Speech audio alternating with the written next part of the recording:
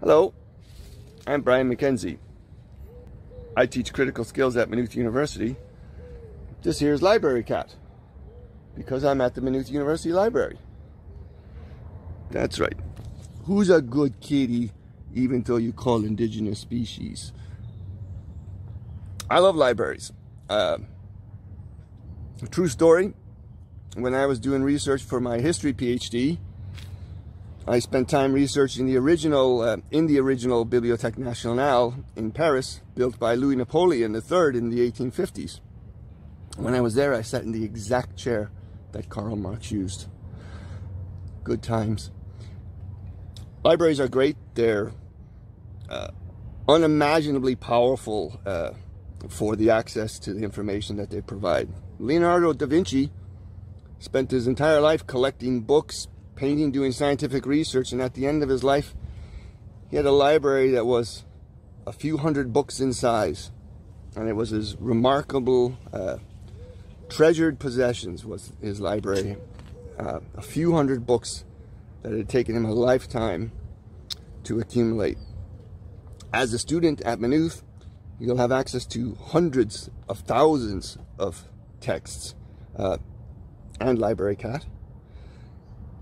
And libraries are absolutely fantastic places to explore knowledge, uh, investigate, just be intellectually curious.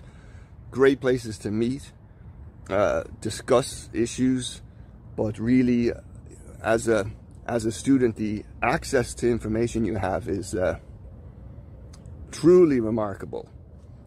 Now, unfortunately, in the times we're living in, it's not as easy to have physical access to the library. So,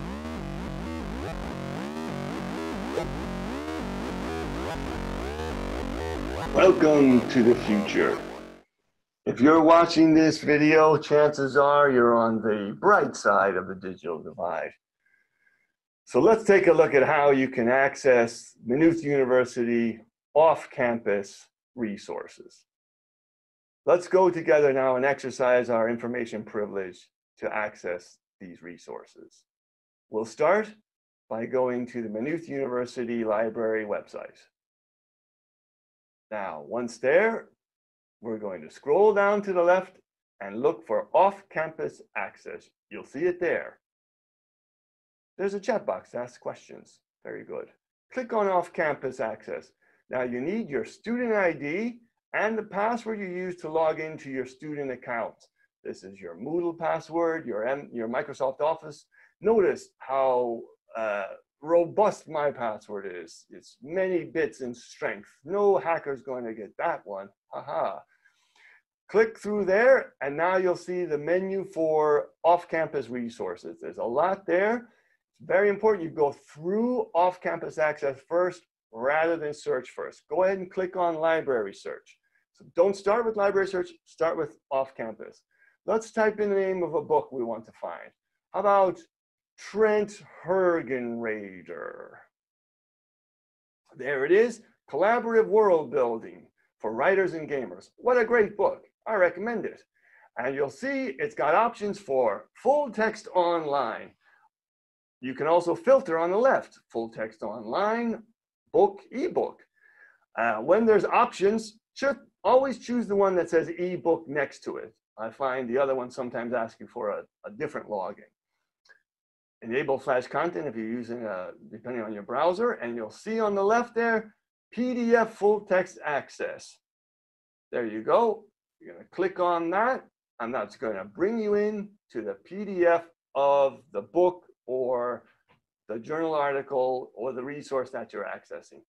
Now, it'll look basically exactly like the book, won't have the satisfying nice kind of smell or aesthetic uh, feel, texture.